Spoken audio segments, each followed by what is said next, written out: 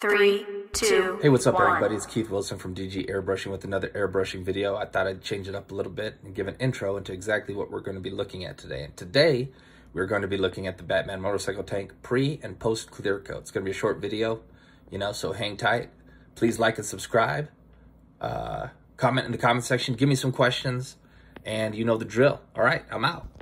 So first, we have the Penguin smoking a cigarette. His his uh, signature cigarette. Uh, we have little penguins in the background. You can't see those probably that clear. There's the duck, nice highlighting. And I'll have a more detailed video of the uh, overall bike and the artwork on it in the in the near, in the near future. There's Two Face. Here he's flipping the coin. I later changed that to an exploding building because we didn't like the flip of the coin. The coin looked good. The hand was okay, but it was backwards. I tried to change it and fix it. it just didn't work. There's Bane.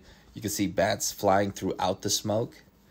And uh, here's Heath Ledger's Joker coming up, and that's supposed to be a stack of money next to him on fire. If you remember in the movie, that was a uh, when he had the mob's money, he set the he set that on fire. Um, and so I don't know. I I think that's kind of a iconic scene um, in the movie. Let me know what you think in the comment section. Let me know if I should have went with something else or what your thoughts are just overall. There it is with that center piece that goes over the uh, where you put the fuel in uh, with the Riddler. Riddle Me This is on there with question marks. Um, next is, here it is, post clear coat. Uh, the Penguin, Duck, again. Colors really pop. Those are candy colors, by the way. And the sun is going to look phenomenal.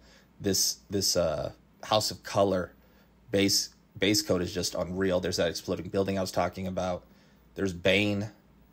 Bane and uh, you know finish up with the Joker and the money.